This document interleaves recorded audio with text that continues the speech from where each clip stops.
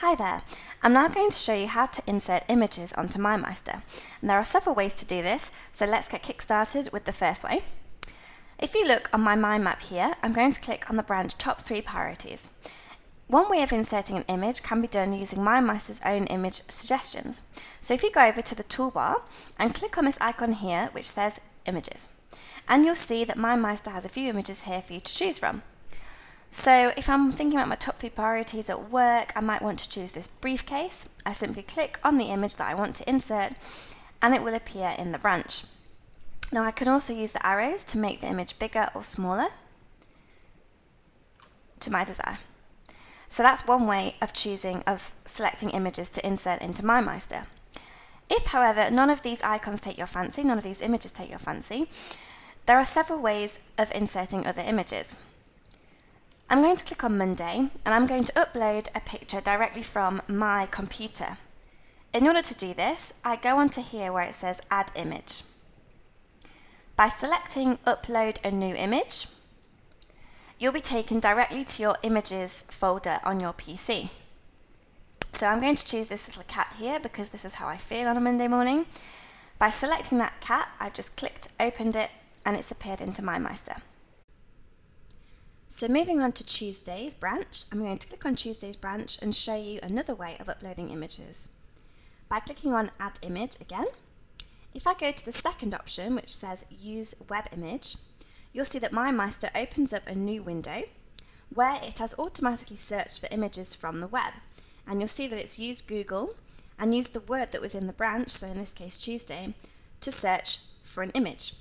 Now, you can look through Google, or if you'd like to change, you can click on this drop down menu here and search for an image by entering the URL directly from the website that you've found the image on, perhaps, or use the icon finder, which I'm going to demonstrate later.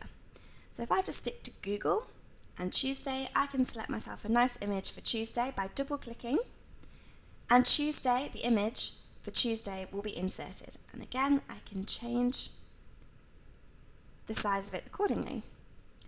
So let's go back to the icon finder. I'm going to click on Wednesday's branch. I go on Add Images, click on Use Web Image, and use the scroll down button, sorry, the scroll down um, menu here, click on Icon Finder. And these are icons that MindMeister has found from the web. So if you would like one of these, all, all you have to do is just select the one you want and click on Use Selected Image or double click on the image. And you'll see that this icon has been found and inserted into MindMeister. Another way of inserting an image can be done by clicking on Add Image again, and you can draw yourself an image. So I'm going to draw myself an image for Thursday. Now, for the purpose of this demonstration, I'm just going to keep it very simple because I'm not very artistic, so please don't judge. You'll see in this toolbar, you can change the line style, the colour, the width, all sorts of um, different settings for selecting what you want to draw. So I'm going to change the colour and make Thursday a nice blue. I'm just going to draw a T for Thursday and then perhaps I'm going to make a thicker swirl around it. There we go. So I'm going to select Insert Image and you'll see that my beautiful T has been inserted into Thursday. To finish off, by clicking on Friday, if I want to insert an image onto Friday, I select Add Image and scroll down to Browse Image Library. Now this image library is a library that stores all of your previous images used already on MindMeister.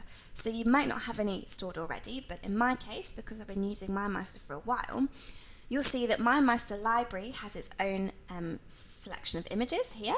So you can select any one of these to insert. And equally, by clicking on My Images, here are the images which I have used on MindMeister previously, so it saves them so that I don't have to look for them elsewhere.